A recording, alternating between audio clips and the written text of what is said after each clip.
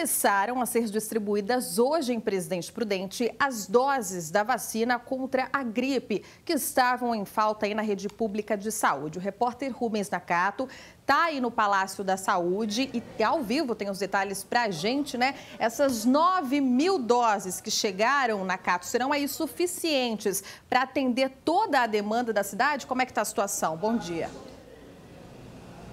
Bom dia, Jéssica. Bom dia a todos. Ao que tudo indica, sim, essas 9 mil doses serão suficientes para atender a demanda da estimativa que fez a vigilância epidemiológica aqui em Presidente Prudente. Como você disse, essas doses aí começaram a ser distribuídas hoje e a vigilância informou que hoje, na data de hoje e também amanhã, serão atendidos os públicos, né, os grupos prioritários, que envolve aí, né, gestantes, crianças, idosos, trabalhadores da saúde que precisam aí tomar as doses da vacina. Aí sim, sobrando vacina, disse ainda a Vigilância Epidemiológica que a partir de segunda-feira pode abrir né, para o público em geral para poder aí fazer a imunização contra a gripe. Presidente Prudente, é, de um total aí de 90% da meta né, de 90% que tem que ser vacinado, o presidente Prudente atingiu até agora 81%.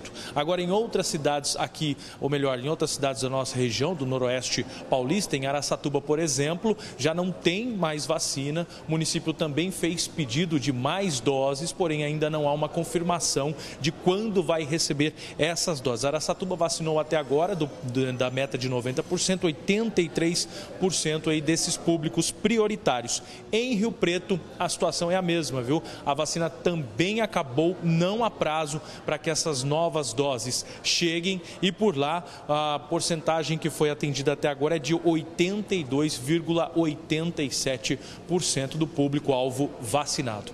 Jéssica. É, então, portanto, a gente tem que esperar aí as cidades que acabaram as doses, esperar, né, vir novas doses e se vacinar, né, Nakato? A gente vive falando aqui, tem que se proteger, tem que cuidar da saúde, aproveitar, porque dá tempo ainda, né, da gente mudar esses números de imunização que, pelo que a gente viu, estão baixos aqui na região. Nakato, obrigada pelas informações, viu? Um bom trabalho.